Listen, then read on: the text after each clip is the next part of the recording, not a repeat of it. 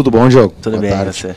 Cara, ah, claro que com o Renato é outra história, enfim, a gente sabe que, que muda muita coisa para vocês, né?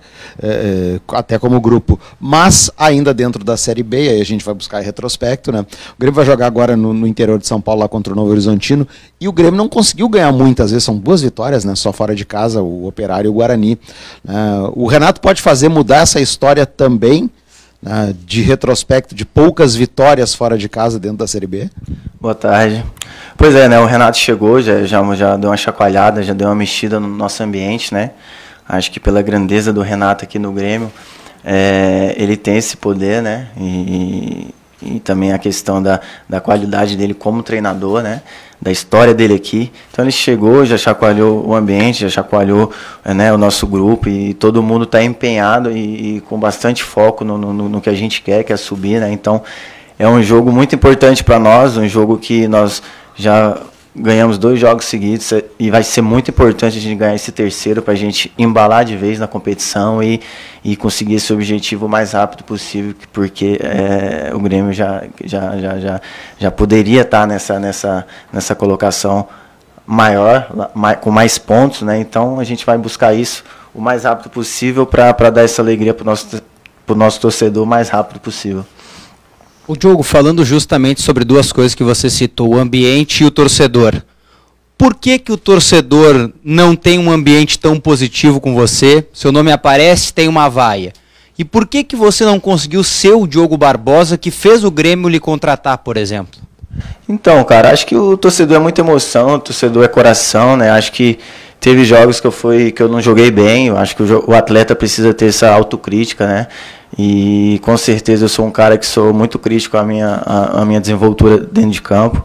E teve jogos que eu fiquei abaixo mesmo e, e o torcedor tem razão, e o torcedor tem que cobrar mesmo, é, tá no direito, acho que é, o torcedor é o maior patrimônio do clube, né? Então a gente tem que entender a emoção, o coração, é, o sentimento do torcedor e, e entender que o torcedor vai reagir da forma que a gente reagir dentro do campo, da, gente- da forma que a gente estiver dentro do campo. Se a gente estiver bem, se a gente jogar bem, se a gente dedicar, se a gente fazer é, o seu melhor dentro de campo, eles vão ver e vão apoiar né? Igual foi dessa, desses dois jogos que eu joguei, que o time foi muito bem, eu tive uma situação muito boa também, eu sou muito crítico e, e eu sei que eu fui bem nesses dois jogos, e a torcida apoiou, e a torcida vai ser isso. É, eu quero para- parabenizar também a torcida, foi uma festa linda nesses dois jogos, foi surpreendente, eu acho que com a torcida do nosso lado as coisas tendem a, a, a, a, ser mais fáceis, né? Então, é, eu peço o, o, o apoio, que a torcida continue nos apoiando, porque eu tenho certeza que as coisas vão ficar mais fáceis, porque com a arena lotada, com, a- com o torcedor do nosso lado, acho que tem tudo para dar certo e tem tudo para a gente conseguir nosso objetivo o mais rápido possível. Diogo, pegando esse gancho do Diogo Rossi agora há pouco, falando sobre as vaias, né, muitas vezes tu é marcado pelo torcedor. O que tu tem feito para recuperar a confiança do torcedor e que a chegada do Renato pode te ajudar nesse processo? É, igual eu falei, as vaias, é, o nosso torcedor também tá triste, né, pelo que aconteceu ano passado, pelo rebaixamento, então assim, é, é normal que a torcida, nos jogos que a gente não consegue jogar bem, a torcida fica um pouco mais impaciente, é normal, é igual eu falei, o torcedor é emoção, o torcedor é coração, o torcedor quer o nosso time sempre vencendo, sempre jogando bem, né, e às vezes quando as coisas não acontecem da forma que eles querem, eles- é a forma deles deles soltarem para fora que eles não estão gostando. Então, eu acho que eu, como todos os jogadores aqui do grupo, compreende bem, né, isso aí. Eu sou um cara que eu já tenho 30 anos, eu consigo é, separar isso bem, né? Eu sei quando eu for bem, eles vão me elogiar, eu sei quando eu for mal, eles vão me criticar. Acho que é uma coisa normal na vida de um atleta, principalmente hoje, né? Então, é, eu sou um cara bem tranquilo, cara. Eu acho que hoje, com a chegada, não, não, não só com a chegada do Renato, acho que nos últimos jogos que eu entrei com o Roger, eu já estava bem, né? Eu já estava me sentindo bem melhor, assim. E acalhou com a chegada do Renato nesses dois jogos, eu consegui jogar muito mais do que eu vinha jogando, né? E o Renato é um cara que foi o próprio Renato que me trouxe, né? Então é um cara que tem muita confiança em mim e ele me transmite isso. Então é nada mais justo do que eu dentro de campo poder retribuir essa confiança dele, não só dele, mas do torcedor, dos meus companheiros do grupo, né? Então é, com certeza nesses próximos jogos, se eu estiver dentro de campo, eu vou dar sempre o meu melhor para tentar manter as atuações que eu venho fazendo. Diogo, é... Saúde. Saúde, jovem. Diogo, a maior dificuldade do Grêmio é a, o jogo fora de casa, né? O Grêmio está tendo essa, essa dificuldade. O Roger já falava nos campos ruins, é, tinham algumas situações que eram mencionadas. Uh, eu queria que tu falasse o que, que o Renato já conversou com você sobre isso, porque talvez para a cereja do bolo acontecer uh, e para o Grêmio provavelmente estar tá hoje na posição do Cruzeiro, Sim. se o Grêmio tivesse jogando bem fora de casa, eu acho que isso já teria acontecido. Como é que foi esse papo aí para esse primeiro jogo? É, a gente sabe que for, foram jogos de casa que, que, que nos deixaram de estar mais lá na frente, né, que ter mais pontos aqui dentro da competição.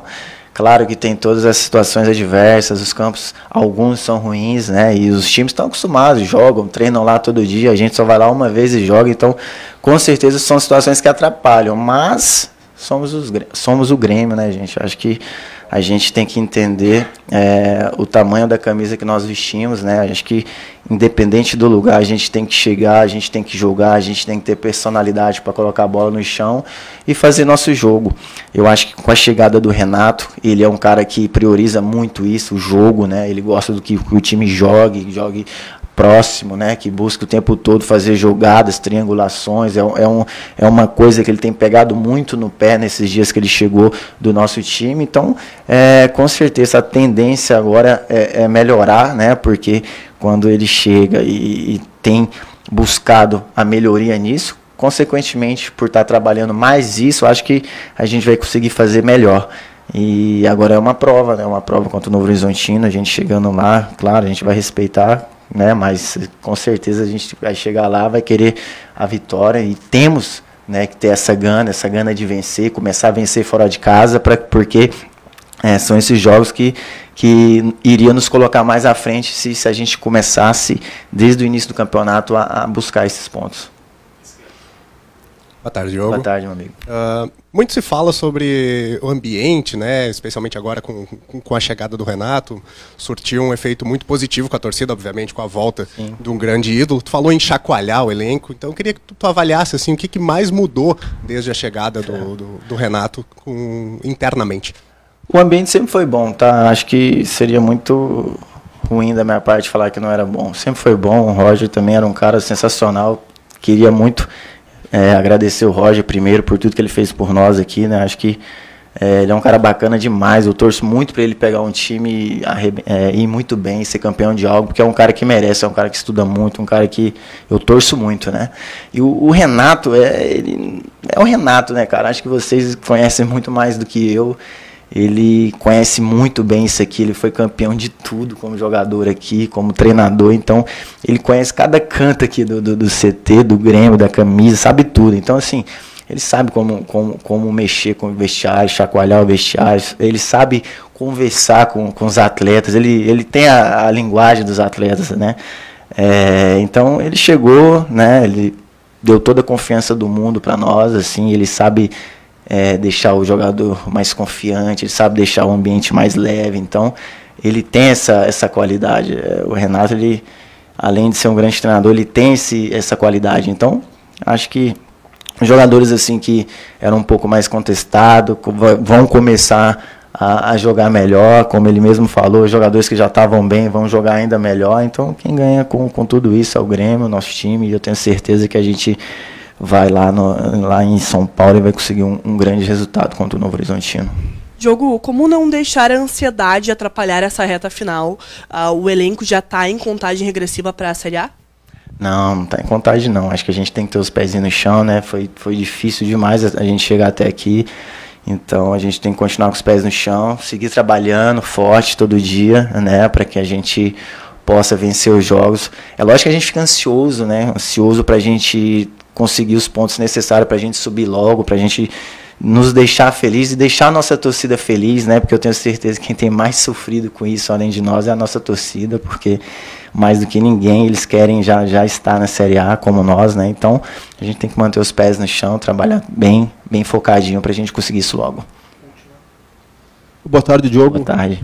Quando chegou o Renato aqui, logo no primeiro dia, ele falou que queria o apoio a todos os jogadores contestados, então ele demonstrou uma confiança Sim. em vocês e comprou o barulho para defender esses jogadores. O quanto muda para vocês ter um treinador que abraça vocês. E se esses jogos finais aí são importantes para uma virada na tua carreira aqui, principalmente pensando já em 2023?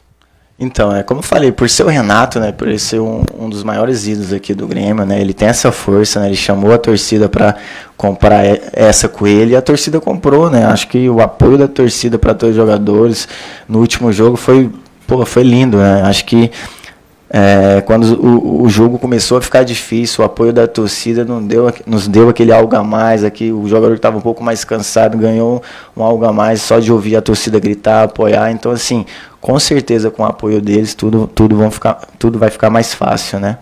E o apoio do Renato para mim é essencial, cara. Ele que me trouxe, assim, ele me conhece bem da forma que eu, consigo, é, que eu gosto de jogar, né? Ele ele sabe como eu me sinto bem e ele tem me colocado para jogar da forma que eu gosto, né? Então isso é importante. Não só eu, como todos os jogadores, né? Ele conhece bem, ele já conhecia muito bem o grupo que estava aqui, alguns meninos da base que subiu, ele também já acompanhava na, na última passagem dele, então para ele ficou mais fácil, né? Então tenho certeza que essa, que essa, que essa é, apoio, com esse apoio, com essa confiança do Renato, acho que todos os jogadores tendem a evoluir mais a sua, o seu jogo, o seu desempenho dentro de campo. Obrigado, Valeu, gente. Até mais.